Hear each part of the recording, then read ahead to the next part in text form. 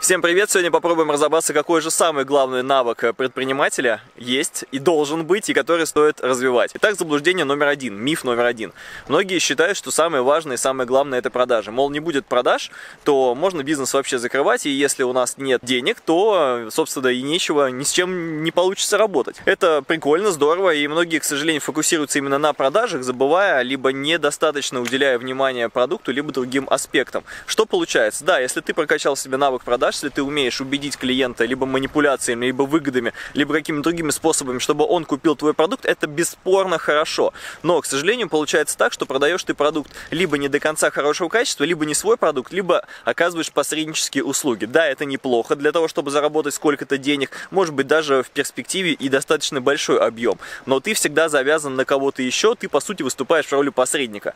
Поэтому продажа это, конечно, классная штука, но это еще не все, и нужно изучать и использовать другие методы метода. Второй способ и второе заблуждение это то, что продукт решает все. Это мое любимое заблуждение, потому что им страдает большое количество экспертов. Заключается оно в том, что если я буду делать свой продукт хорошо, то люди его увидят, оценят, подтянутся, и, собственно, у хорошего специалиста не может быть простое в заказах. Это совершенно справедливо, это здорово. Но где вы видели, например, хорошего врача без клиентов, либо хорошего сантехника без работы? Мы понимаем, что хороший специалист всегда занят. Да, но если он не делает бизнес. Как только специалист начинает делать бизнес, он попадает в ловушку. К сожалению, эту ловушку попадают многие. Заключается она в том, что нам кажется, что мир несправедлив, и мы ее связываем, эту проблему не с собой, что вот мы что-то делаем не так, а что люди не ценят нас. И в этом случае у нас э, ну, немножечко рушится не только продажа, не только вообще понимание ситуации, но и веры в себе, доверие к себе. Поэтому, если у нас хороший продукт, это отлично, это самое лучшее, что может быть. Если мы добавим к нему продажи, то это будет вообще волшебно, и это будет, наверное, одно из самых важных решений. Поэтому важно в том числе развивать и тему продаж. Третье заблуждение, оно касается организации внутреннего процесса. Некоторые люди думают, что система и последовательность, и правильная работа – это наше все. То есть, если мы построим систему, если у нас будет все по полочкам, если будет понимание, как и что мы делаем, то нам гарантирован успех. Команда будет работать как часы, все будет отлично, все будет э, так, как надо, и клиенты будут довольны, и продукты будут продаваться, и продажи будут работать, и, в общем, все будет отлично. К сожалению, это не так. Система отлично работает, но она работает только как опорная точка. Нельзя на систему ставить абсолютно все карты и думать, что если мы простроили все идеально, то у нас и будет будет работа идеально. Конечно, это миф, да, это заблуждение. Почему? Потому что любой системе она работает не автоматически, а она работает с людьми. И мы можем на них влиять, и мы можем их мотивировать.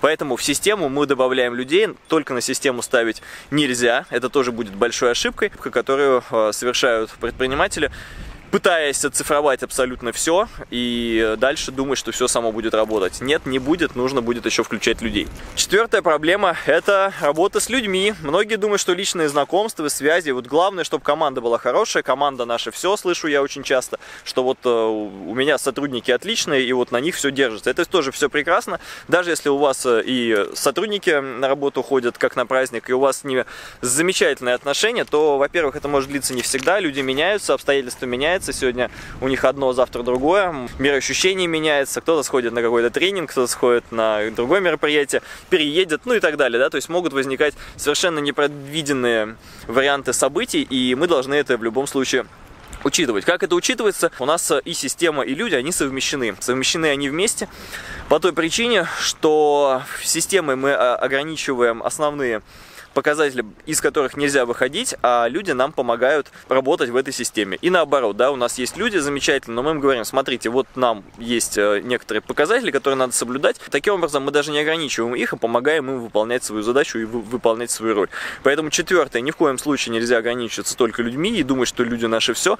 Людям нужна система, нужен продукт, нужны продажи, в общем, все вместе взятое. И пятая часть, это моя любимая, вернее, одно из любимых, потому что очень часто я встречаю модель поведения, модель модель работы, немножко она безответственная, и заключается в том, что люди думают, что кто-то за них придет и все сделает. То есть да, я собственник, я руководитель, я найму людей, и они за меня уже сделают. Это, по сути, перекладывание ответственности, когда человек говорит, да, мне эта тема нужна, я хочу развивать э, работу с людьми, я хочу строить систему, я хочу строить продажи, я хочу строить продукт, и мне нужен партнер.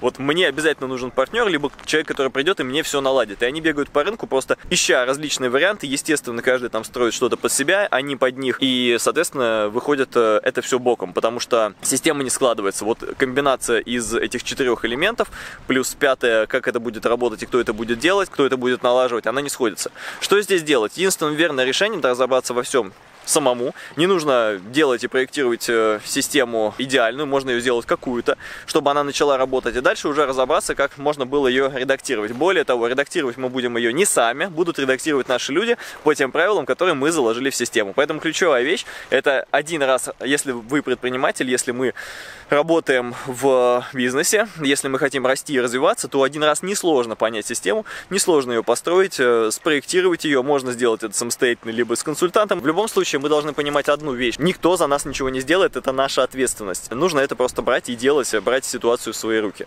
Это пятая ошибка, которую совершают многие начинающие, и да и даже опытные бизнесмены, думая, что кто-то сейчас прилетит вдруг волшебник в голубом вертолете и сделает все за них. Нет, этого не будет, нужно в любом случае будет заниматься этой темой самостоятельно. Итак, мы разобрали 5 основных мифов, 5 ошибок, с которыми я больше всего из практики встречаюсь в головах у людей, и мы с этим работаем, стараемся это убрать. Что же самое важное? Это работа наш, с нашим мозгом, это умение и развитие в себе навыков, которые позволяют нам достаточно оперативно и быстро внедрять те моменты, которые нам нужны для построения систем. Те системы, которые мы обсудили. Это продажи, это продукты, это работа с людьми и построение внутренней организации. А также не думать, что кто-то нас заменит, и мы сможем делегировать какую-то самую важную часть работы, которая касается именно нас. Но при этом делегировать мы можем другую часть работы. Так вот, чтобы это все освоить, нужно один раз подумать и развить свои навыки в продажах, в систематизации, в работе с людьми, в построении систем и в умении делегировать, то у нас все получается. На этом сегодня все. С вами был Станислав Орехов. Пока.